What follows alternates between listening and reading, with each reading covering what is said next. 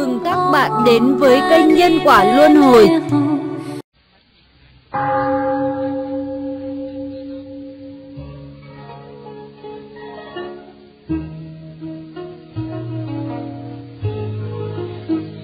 Hãy nỗ lực vì hòa bình thế giới. Nếu trong vũ trụ đầy chính khí an lành, Trái đất sẽ không bùng nổ. Thế giới hiện tại là do nhiều quốc gia hợp thành, mỗi một quốc gia gồm nhiều gia đình làm nên, mỗi gia đình gồm nhiều người tạo thành, vì vậy mỗi cá nhân có quan hệ liên đới rất lớn đối với toàn thể thế giới. Nếu lòng người trên thế gian thanh tịnh, không có tư tưởng nhiễm ô, thì thế giới nhất định sẽ hòa bình, không có chiến tranh. Ngược lại, lòng người ô nhiễm thì thế giới sẽ trở thành xấu xa. Đạo lý này con người ai cũng hiểu, nhưng họ không thực hành. Biết mà cố phạm lỗi đó là thực là đáng xót thương vậy. Sở vị hào yếu tòng tâm tác khởi, sở vị hoại giã tòng tâm tác khởi. Nghĩa là điều tốt là do tâm tạo ra, điều xấu cũng từ tâm làm nên. Thế giới hiện tại đang tới chỗ sống buổi sáng nhưng không chắc sẽ có buổi chiều. Bởi vì sao? Bởi vì địa cầu sắp đi đến chỗ bùng nổ, đã đến lúc vô cùng nguy hiểm.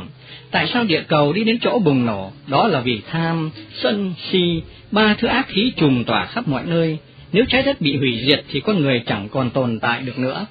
Tuy vậy, con người không để tâm nghiên cứu vấn đề này, suốt ngày cứ sống trong sự mê muội, chết đi trong mộng mơ, để thời gian trôi đi một cách hồ đồ, không biết rằng sự nguy hiểm trùng trùng. Có người chỉ quan tâm đến sự nguy hiểm trước mắt, nhưng không biết nghĩ đến cứu cánh của tương lai.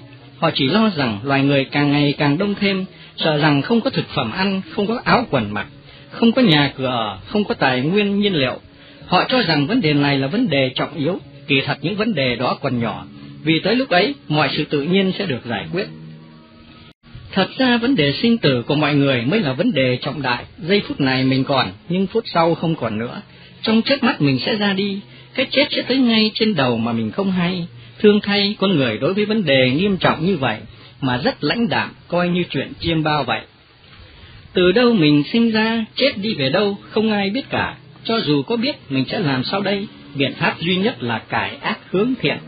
Sửa bỏ điều ác chỉ làm điều thiện, sửa đổi con người chính mình đừng sinh lòng ích kỷ, tư lợi, mà phải có lòng từ bi vì lợi ích của tất cả chúng sinh và phải học tập tinh thần của Bồ Tát.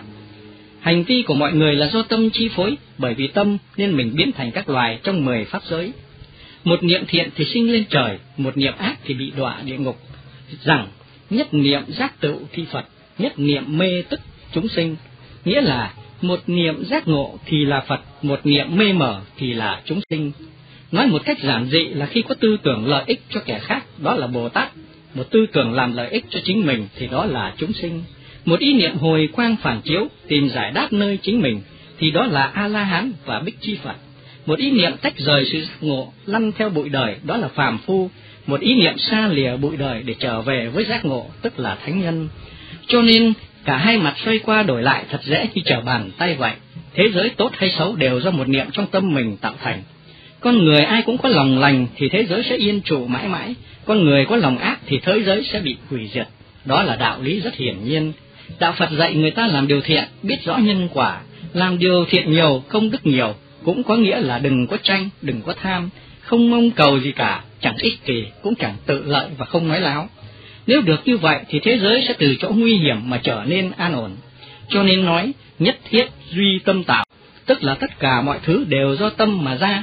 Tâm tạo ra thế giới, tâm cũng có thể hủy diệt thế giới. Tâm tạo ra thiên đường, tâm cũng có thể tạo ra địa ngục. Gia đình là do mọi người làm thành, con người là do vọng tưởng mà thành hình. Nếu đem vọng tưởng xấu sửa đổi thành vọng tưởng tốt lành thì đó là người tốt. Nếu đem ý niệm thiện mà biến thành ý niệm xấu thì đó là người ác. Đó là sự khác biệt giữa người ác và người lành. Chúng ta là những người tu hành thì phải siêng tu giới, định, huệ, trừ bỏ tham, sân, si. Đó là điều kiện căn bản của sự tu hành. Là người học Phật Pháp, trước hết mình phải không làm điều ác và làm tất cả những điều thiện. Đó cũng chính là điều căn bản. Nếu ai cũng làm theo điều này thì thế giới sẽ trở nên tốt lành, khí lành sẽ gia tăng và ác khí sẽ giảm bớt. Nếu trong vũ trụ đầy dãy những chính khí an lành thì trái đất sẽ không bùng nổ. Làm sao cho thế giới yên ổn an lành? Chỉ còn biện pháp duy nhất là mình tới học Phật Pháp, tên đạo đạo tràng có chính Pháp, rồi sửa đổi lỗi lầm của mình để trở thành người mới. mọi người ai cũng bỏ điều ác, làm điều lành, thì thế giới sẽ không có ba thứ tai nạn, tám thứ khốn khổ. Con người ai cũng sống trong hòa bình, thương yêu lẫn nhau, không còn tranh, không còn tham nữa, đó là thế giới đại đồng. Hy vọng rằng lúc đó những người không có tín ngưỡng, tôn giáo cũng sẽ vì gia đình, vì tổ quốc, vì thế giới bỏ đi những tính tham lam, làm những việc lợi ích cho xã hội. Mình cũng nên biết rằng tài sản là những vật ngoài thân, sanh ra mình không đem chúng tới, chết đi cũng chẳng mang được chúng theo. Khi sự hắc ám của người ác được hào quang của người thiện chiếu soi làm tan mất, thì lúc đó thế giới không còn bị ác khí bao trùm, địa cầu mới không bị hủy diệt.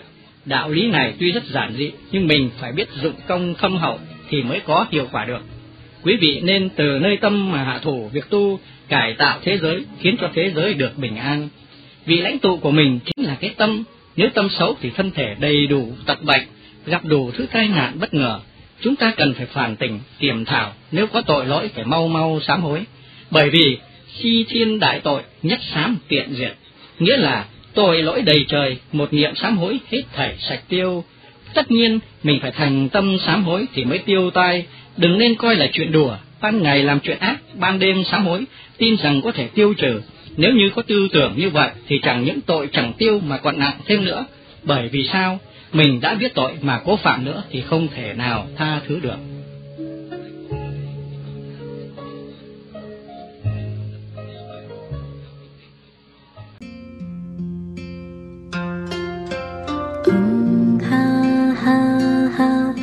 三摩地所。